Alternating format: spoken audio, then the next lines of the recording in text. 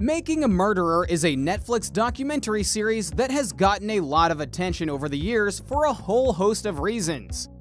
Not the least of which was that it dealt with a real life case that is still going on right now in the form of Steven Avery, who was tried and convicted two different times of two different crimes, was eventually proven innocent of one of them, and many are fighting to prove he's innocent in another.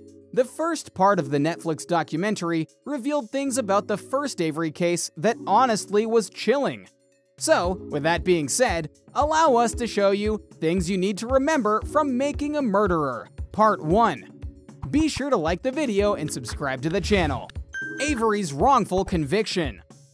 One of the most important things we learn in Part 1 is that Steven Avery previously served 18 years for a wrongful conviction.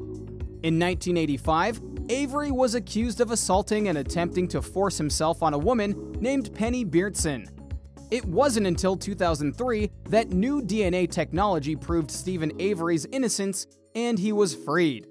But that was a long time, and as the show revealed, there were a lot of signs beforehand that Avery was innocent of that crime, and yet he was locked away for 18 years.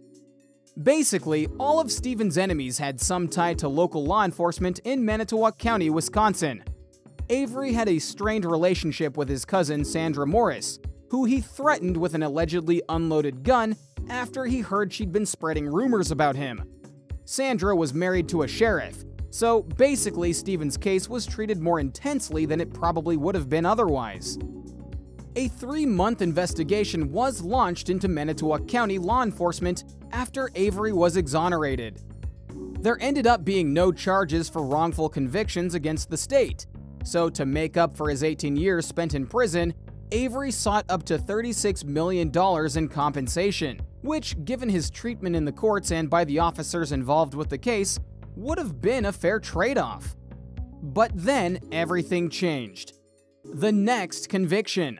Then, on October 31, 2005, a young woman named Teresa Halbach went missing after visiting the Avery property.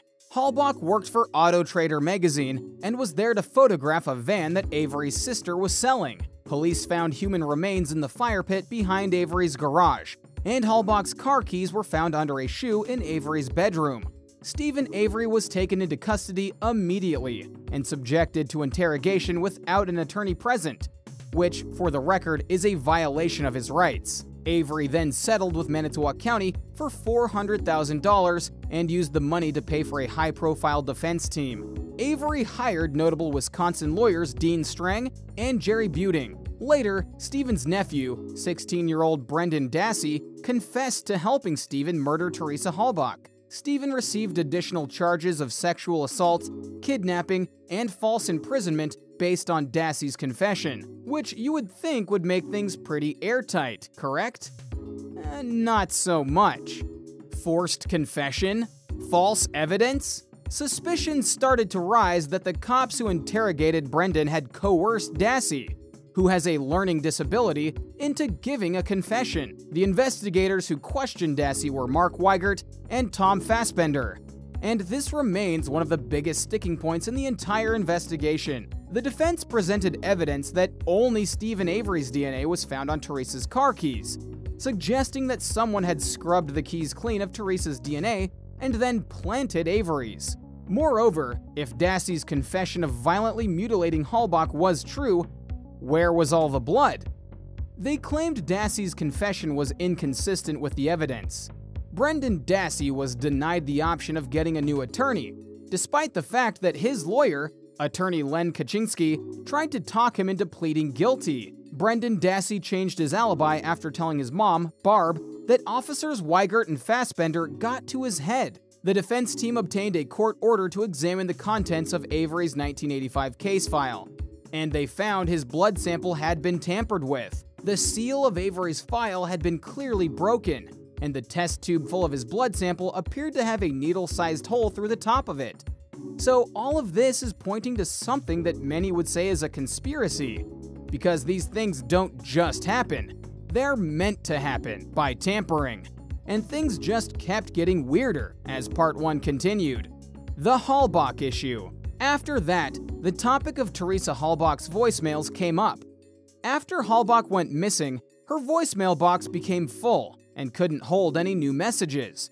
But later, there was room in her voicemail, indicating that some messages had to have been deleted and by someone who knew her password. Both Halbach's brother and ex-boyfriend admitted to hacking into her voicemail, but denied erasing any messages.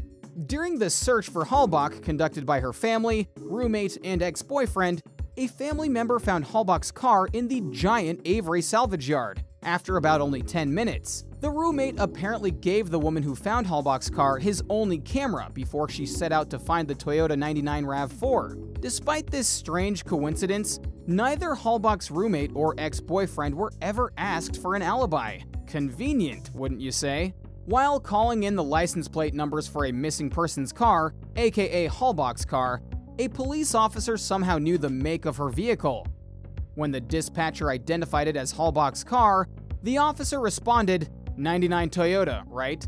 This was two days before the car was uncovered in the Avery salvage yard. Curiously, the officer was Sergeant Andrew Colborn, who was deposed during Avery's first case, in which he was wrongly imprisoned. How's that for a connection? More connections, more issues. Another suspicious key player who kept reappearing was Lieutenant James Lenk.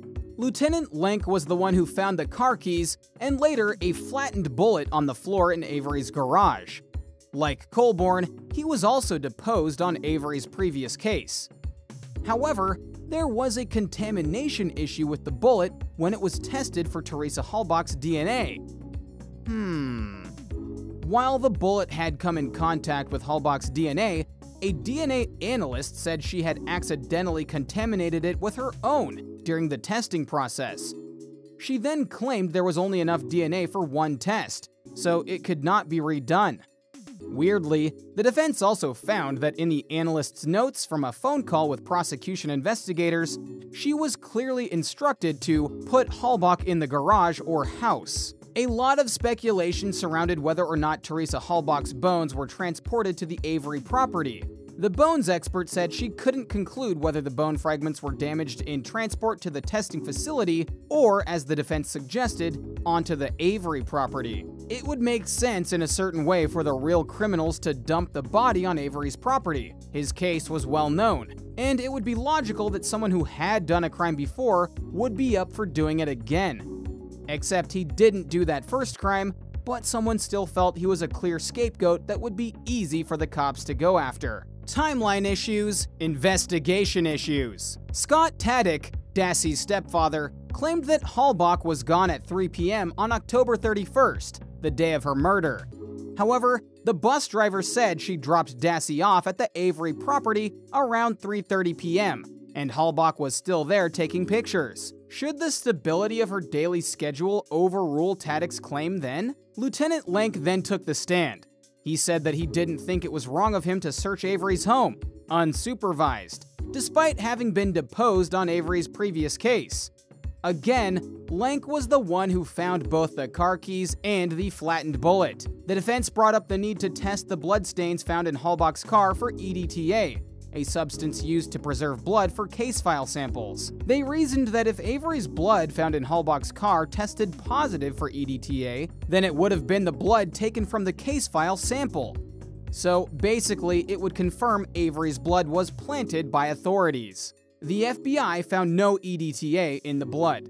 Guilty. Eventually, after a few days of deliberation, both Avery and later on Dassey were found guilty and sentenced to life in prison which many people cried foul over, including Making a Murderer, who not only went and made a part 2 about events, but the case is still going on right now, with Avery fighting as hard as he can to get free. Whether he will or not, honestly, is unknown. So, what do you think? What do you think of this look at the situation that Making a Murderer revealed during its first part? Are you amazed that such things happen and that after 18 years in prison, Steven Avery was set free? Which of these elements do you think will help Avery get free if things finally start going his way? Let us know in the comments down below. Be sure to subscribe, and we'll see you next time on the channel.